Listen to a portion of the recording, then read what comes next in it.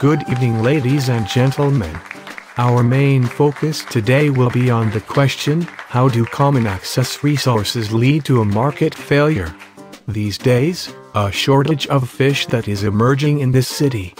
This is happening since fishing grounds are non-excludable, meaning that it's impossible to stop people from consuming it once it's provided.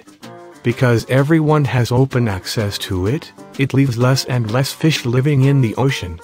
We have invited a middle-class woman who enjoys fishing to our studio. Hello Miss Lake and thanks for coming. No problem. I heard that you enjoy fishing a lot. How often do you go? Almost every day. Many people come every day and I manage to obtain about 20 kinds of fish every day. It's amazing because it's all free. Our whole society benefits from it. It might seem like that in the short run, but in the long run, it may have devastating consequences. What do you mean? Fishing grounds and the fish inside them can be called common access resources.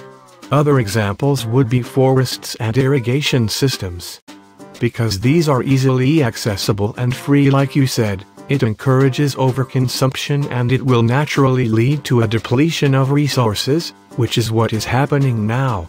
Because so many people in your area are using the fishing grounds so extravagantly, fish are starting to become extinct. Oh no. Think about your future generations. Your kids, the children of your kids, and so on won't end up having any fish left to eat. That's terrible. It is indeed. This is a negative externality of consumption, also called a threat to sustainability. Consumption needs will not be met if consumers now continue to fish like you. What can I do? I love fishing so much and I want to take advantage of the fact that I can take as many fish as I can. It adds marginal utility for me. Don't you dare talk to me like that again. Oh, I care more about my own generation.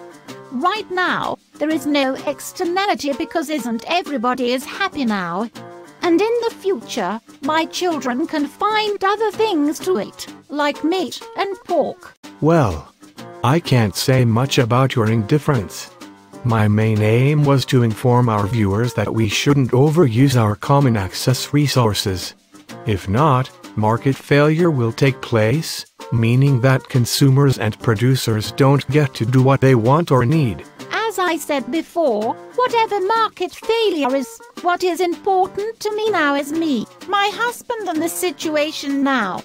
If everyone is happy now, nothing else matters. I think we have invited the wrong guest today. You are exerting a negative externality on me. This is getting ridiculous. If you're so worried about it, why don't you just ban it? People often ask this rather stupid question. Just think about it, it is extremely difficult or very expensive to do so. For example, we cannot just tell people to stop fishing. Miss Lake, if the government randomly told you to fish less, would you? Of course not. Exactly. Now think about people who do fishing for their living. How would they survive if this policy was imposed?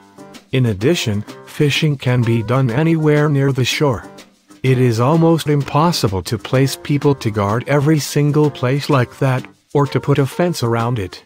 The cost would be exorbitant and it would lead in another negative externality, where it damages the view of the sea. That's true. It is. To sum up what we have discussed about today, the problem of the overexploitation of common access resources may lead to serious ramifications, and there is not much that the government can do at the moment. They are currently searching for efficient ways to help ameliorate the exacerbating situation. Thanks for coming, Miss Lake. Join us again tomorrow. Bye bye.